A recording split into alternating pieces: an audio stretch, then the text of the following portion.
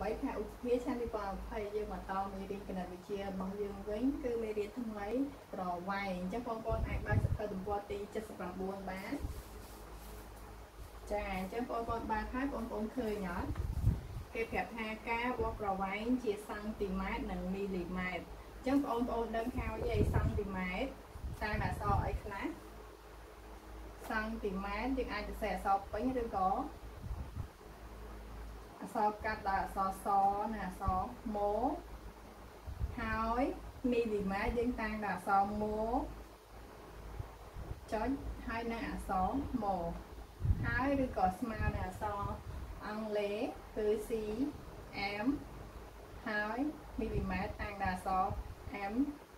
N អញ្ចឹងបងប្អូនដឹងហើយណាចាចាឥឡូវនេះគ្រូយកបន្ទាត់មកឲ្យបងប្អូនឃើញអញ្ចឹងបន្ទាត់យើង ຂະຫນາດនេះគឺຂະຫນາດសង់ទីម៉ែត្រអាខិនអត់អត់ហ្នឹងគឺຂະຫນາດសង់ទីម៉ែត្រចាអញ្ចឹងយើងប្រើភាគច្រើនតែសង់ទីម៉ែត្រទេអាខាងក្រោមនេះគឺអ៊ីងអញ្ចឹងយើងអត់សូវដែរប្រើទេគឺយើងប្រើតែសង់ទីម៉ែត្រសម្រាប់ពណ៌ចាឥឡូវបងប្អូនវាស់ស្លឹកឈើជាមួយគ្រូដល់គ្នាអ្នកគ្រូគូហើយអីចាស្លឹកឈើនេះស្មើនឹងប្រមាណចាស្លឹកឈើនេះស្មើនឹង15សង់ទីម៉ែត្រ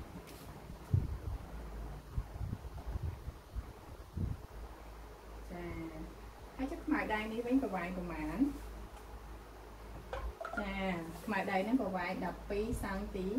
ម៉ែត្រចាអញ្ចឹងបងប្អូនអាចយល់ទាំងអស់គ្នាបានទេត្រូវអត់អញ្ចឹងគេប្រាប់មកទៀតថាក្នុង1សង់ទីម៉ែត្រ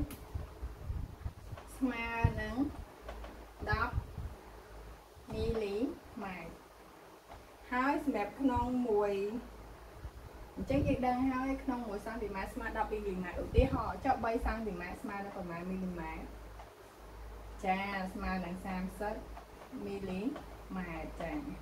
អរគុណអញ្ចឹងបងប្អូននឹងការងាររបស់យើងបងប្អូនចូលច្រឡំមេរៀននឹងចូលក្នុងសភៅហើយគូពួកអ្នកគ្រូបន្តមកធ្វើកាត់ផ្ទះកិច្ចកាត់ផ្ទះយើងតើតនឹងលំហាត់ខាងក្រោមអញ្ចឹងបងប្អូនយកវាស់វាជាប្រវែងហើយគិតវាជាមីលីម៉ែត្រអញ្ចឹង អូនវាស់វាក្នុងបន្ទាត់យើងខ្នាតជាសង់ទីម៉ែត្រអញ្ចឹងបងអូនវាស់ហើយបងអូនគិតជាខ្នាតមីលីម៉ែត្រវិញអញ្ចឹងយើងបដូរពីសង់ទីម៉ែត្រទៅមីលីម៉ែត្រដូចមកចាអញ្ចឹងយល់ទាំងអស់គ្នាទៅអត់អញ្ចឹងចូលចូលលំហាត់ទាំងអស់គ្នាការអើយនេះគណិតថ្ងៃនេះមានតែប៉ុណ្្នឹង